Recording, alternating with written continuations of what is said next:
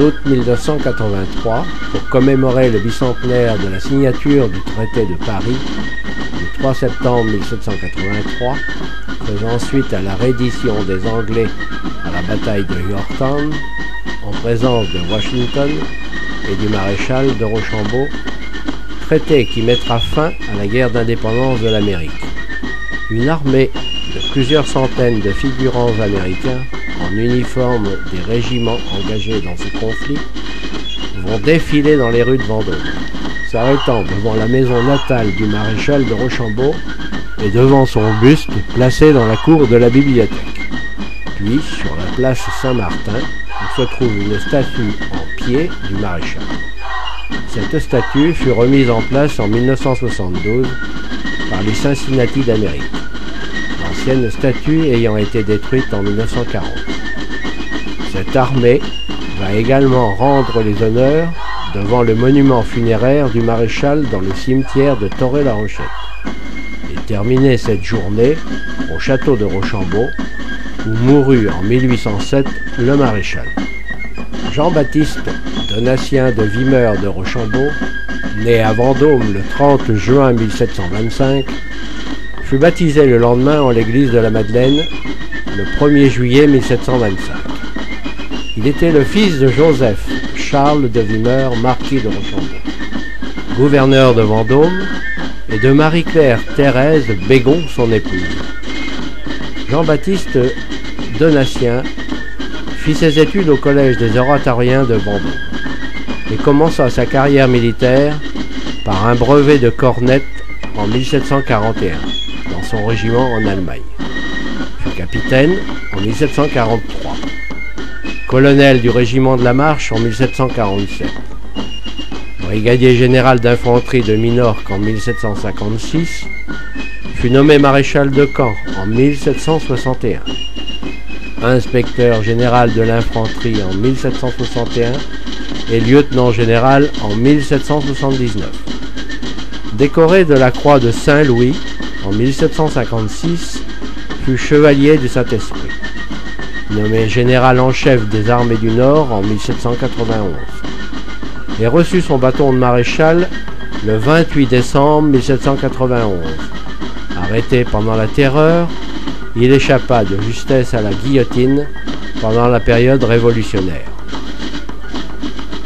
Entre-temps, en 1749, il avait épousé Jeanne Thélèse d'Acosta, fils d'Emmanuel d'Acosta et de Marie-Antoinette Fizet. De cette union, le maréchal Rochambeau eut un fils unique, Donatien Marie-Joseph, qui épousa Éléonore de Harville de Trenel. Celui-ci eut deux filles et un fils. Le suivant. Auguste Philippe Donatien, qui marié avec Elisa Pauline de Roc, n'aura pas d'enfant. Un fils adoptif de ce dernier Eugène Achille Lacroix, fils d'Alexandre-Édouard Lacroix et de Jeanne-Louise Tavernel, adopté par jugement devant le tribunal de Vendôme le 4 avril 1862. Celui-ci prendra le nom de Vimeur de Rochambeau et lui succédera à Rochambeau. Après de longues années de bataille sur terre et sur mer, des troupes françaises engagées contre les Anglais et l'aide apportée par le marquis de Lafayette, en 1779, le maréchal de Rochambeau, alors général, fut dans les dernières années de ces combats choisi comme commandant en chef des troupes chargées de soutenir la cause de l'indépendance américaine. L'engagement à Yorktown, en Virginie, dura du 26 septembre au 19 octobre 1781.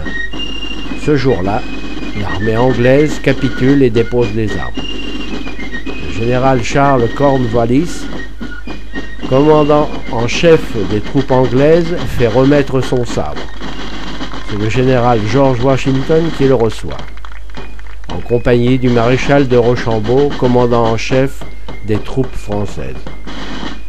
Cette victoire franco-américaine en fait met fin au combat et un terme à la guerre d'indépendance américaine et donne naissance à une nouvelle nation.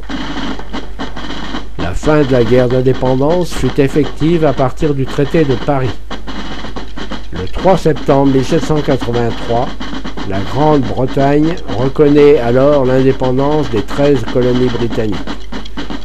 De 1775 à 1783, des combats difficiles sur mer et sur terre les Anglais et les Franco-Américains ont causé de lourdes pertes.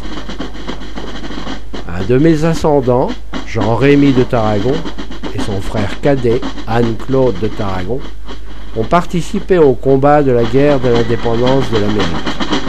Entre autres, à la Grenade, à Saint-Lucie en 1781, à Tabago en 1781, et à l'un des plus importants et plus meurtriers, celui du siège de Savannah, qui se termina par une défaite des troupes françaises et américaines, et où près de 600 hommes et 60 officiers franco-américains et volontaires étrangers y laissèrent la vie entre le 1er et le 20 octobre 1779.